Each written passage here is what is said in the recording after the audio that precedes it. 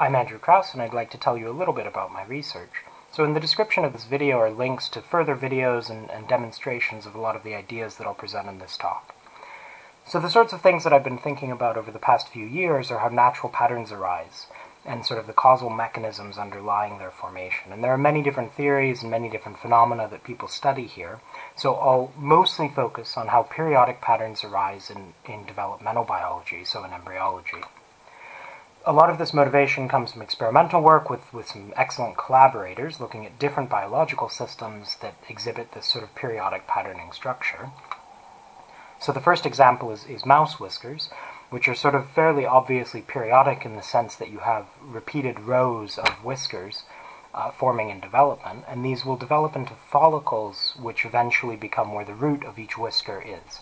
Now, while this is sort of very clearly a periodic structure, it also has an additional macroscopic structure where the rows are organized in this sort of nice way, and there's a size and wavelength modulation across the row.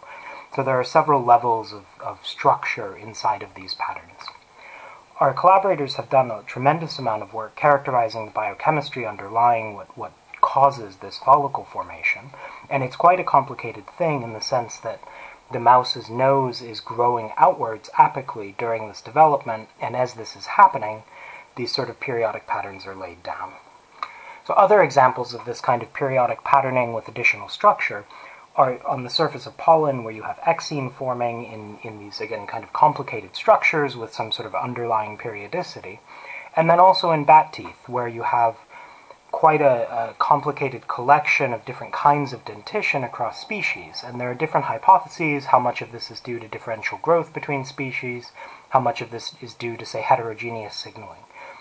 So I'll next describe one hypothesis for these sorts of patterns in biology.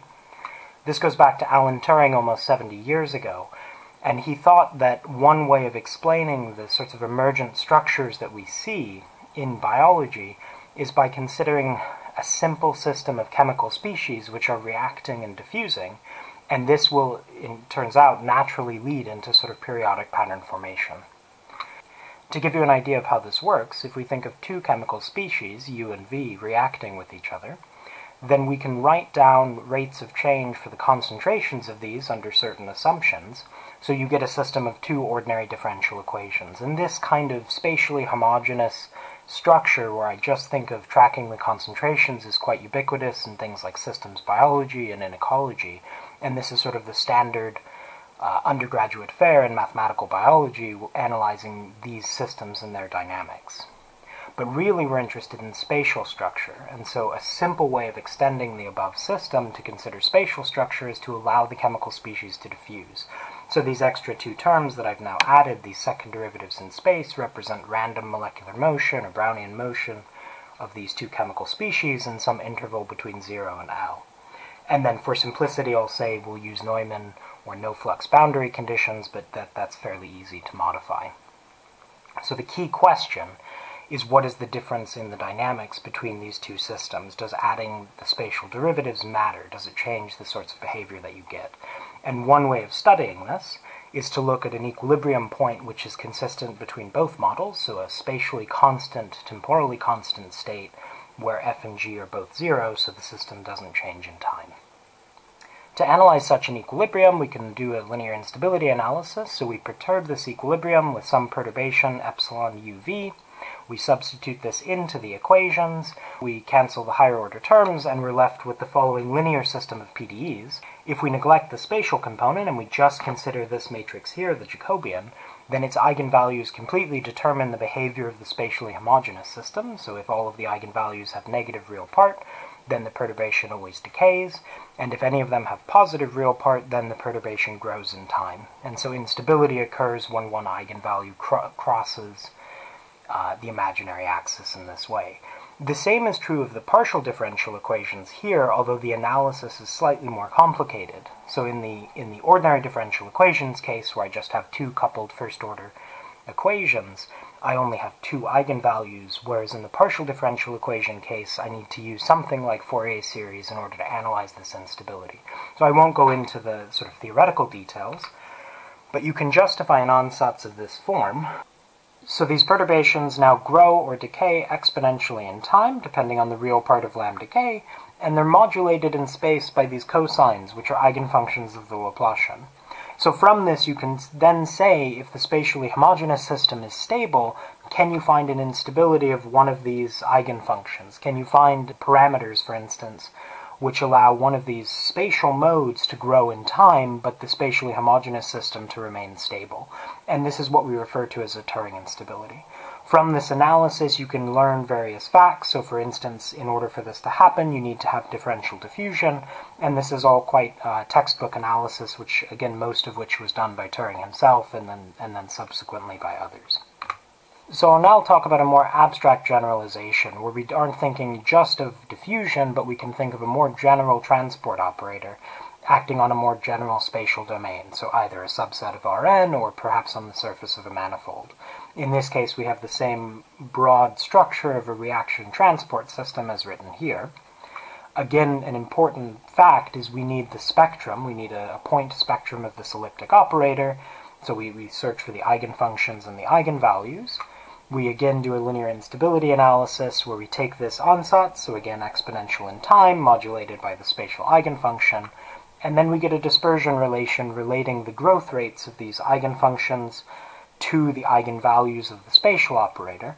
Again, this will be a polynomial in lambda, just as in the, the classical case, though it can have a much richer behavior. But broadly speaking, this is the same as what Turing did in his original paper. So we've applied this kind of philosophy, this sort of approach, to several different problems. For instance, we've looked at pattern formation on spheres with advection. We've looked at the interaction of Turing instabilities and Hopf instabilities leading to spatiotemporal phenomena on manifolds.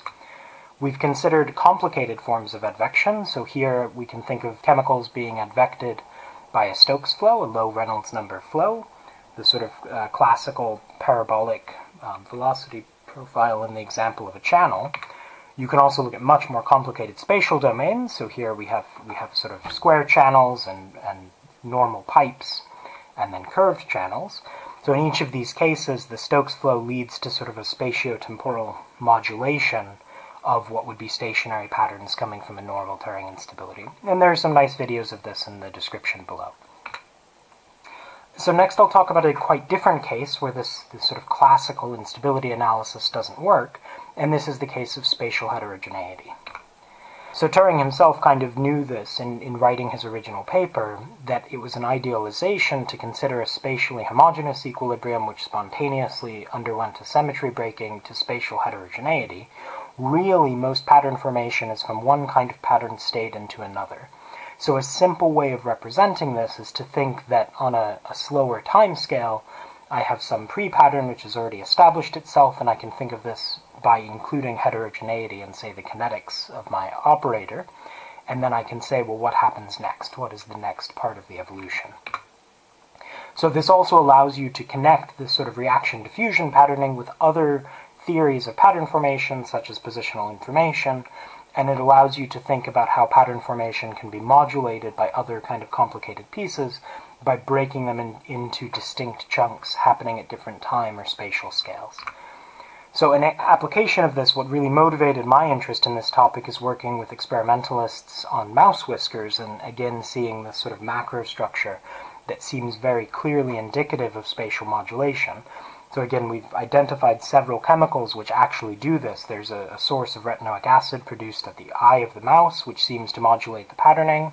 There's also a source of bone morphogenetic protein coming from the nose, and both of these are modulated in both space and time and lead to differences in the patterning across the field, which we've explored in our work.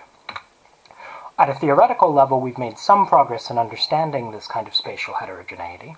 So in the case where I put an epsilon squared here in front of the diffusion, we're thinking of patterns which occur at different length scales. So we think of our, our patterns as being rapid relative to the scale of the, the pre-pattern, so our pre-pattern is sufficiently slowly varying. And in this case, you can go through the sort of classical Turing analysis in a local way. And so this red line says that to the left of this red line, I don't really expect a difference from my heterogeneous equilibrium.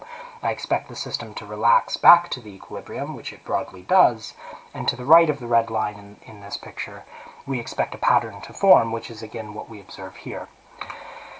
Uh, we can also apply this in interesting ways. We can take a complicated heterogeneous field, so for instance we can take an image, and then we can use the intensity of a pixel at each of these images as inputs to a reaction diffusion simulation. And what you get are um, modulated patterns. So in, in, say, this case on the right with Jim Murray's face, you have regions of spots, and then regions of stripes, and then regions where the reaction diffusion system is now sitting on the heterogeneous state, the complex spatial heterogeneity. So the previous kinds of examples were somewhat intuitive and they, they made sense thinking of a local picture, and so they were sort of an obvious extension of spatially homogeneous analysis. Other things we've, we've found are that this isn't always the case. So even small spatial heterogeneity can induce nonlinear effects that are not captured by the linear theory, where, say, a spot or spike solution can be destabilized into an oscillation.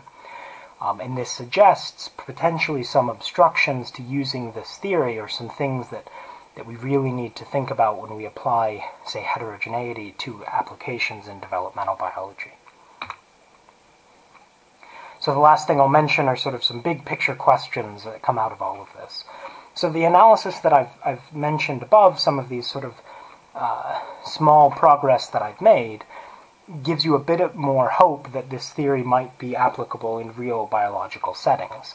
But there are quite a few things that are still assumed. There are quite a few things that are still idealizations in this, in, in what I've done. So for example, even in the very well understood morphogen signaling kinetics, we don't have good pictures of what the real nonlinearities are, particularly when we think of two-species systems. Another aspect of this, which is still an open problem, is that Turing systems don't seem to be robust in the sense that usually it's a small region in parameter space where we observe these instabilities. But biologically speaking, you can do many chemical perturbations to an embryo and still get pattern formation. And so there's a tension between our sort of simple models and real experiments. And then, of course, the complexity is enormous. Most of the work here, most of the work that a lot of people do, are two or three species systems whereas most real biological development occurs with many, many more chemical species. And we don't have a good way of tackling this because it isn't sort of sensible to think of, say, 10,000 nonlinear partial differential equations. We can't really systematically analyze these sorts of things. There are other aspects of this, which I've looked at, and many other people have looked at, applying these ideas in spatial ecology or to organizing human behavior. And again, there are open questions here of should is, is the reaction diffusion framework the best one to use? Does it give us any real insight? And then finally, there are lots of mathematical questions, which are quite interesting. A lot of these center around the importance of nonlinearity and when our sort of linear local analysis is valid, or when we really need tools and things to give a global perspective on the kinds of behavior we expect. This is especially relevant when we think of patterning on multiple timescales, or when we think of structural stability. So in particular, we don't really expect patterning from homogeneous states, so what are appropriate initial conditions and can those matter? Um, I think what I'd like to do is end on this quote by Richard Levin, so I'd recommend pausing the video and reading this. The main thing I want to get across to you here is that there are many different perspectives on approaching these problems. So in particular, there are people who are much more applied than I am, who are much closer to the experimental side, so they will often look at inference and they will often look at parameter sensitivity and trying to fit particular models, both phenomenological and those based on first principles. And then there are people on the much more theoretical side who struggle more with the mathematical questions that I've sort of hinted at and suggested here. So beyond just existence and regularity, there are many people who look at nonlinear structures in these reaction diffusion systems. So I tend to be somewhat in the middle, and my hope is to learn from both sides, to learn from the very heavy applied biological side at the sort of real questions that matter in biology, but also to learn from people who are more mathematically uh, inclined than myself, particularly because they can develop tools that we might use to really solve these problems. So thank you for listening, and please feel free to send me any emails or questions you have.